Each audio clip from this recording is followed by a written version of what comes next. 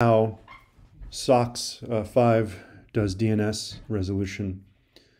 Um, so I've defined, uh, so this is Firefox open with FoxyProxy. I have a configuration, proxy configuration set type is SOCKS 5 with authentication. And I have, importantly, send DNS through SOCKS 5 proxy is off.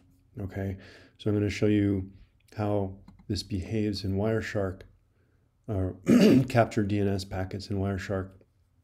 Um, first, I have to select my Wi-Fi um, interface, and I'm going to filter on DNS lookups.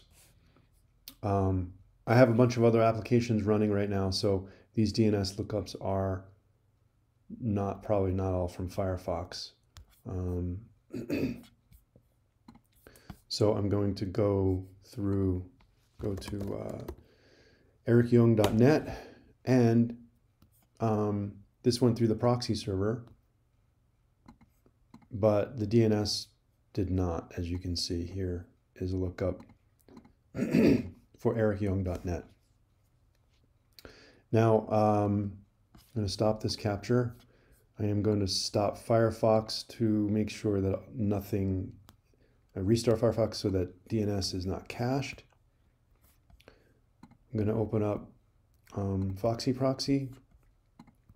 I am going to turn on DNS lookup through SOCKS 5. And now uh, I'm going to go to, uh, let, me let me turn on Wireshark again. And I'm going to go to wikipedia.org. And we should not see a, DNS lookup for wikipedia.org in Wireshark because the DNS lookup is being done by the SOCKS 5 server in this case. And as you can see, it's not. And really quickly, I'm going to turn off SOCKS 5 lookup, uh, DNS through SOCKS 5 lookup and refresh Wikipedia. And right away, we see a DNS query on the local machine for Wikipedia. Thank you.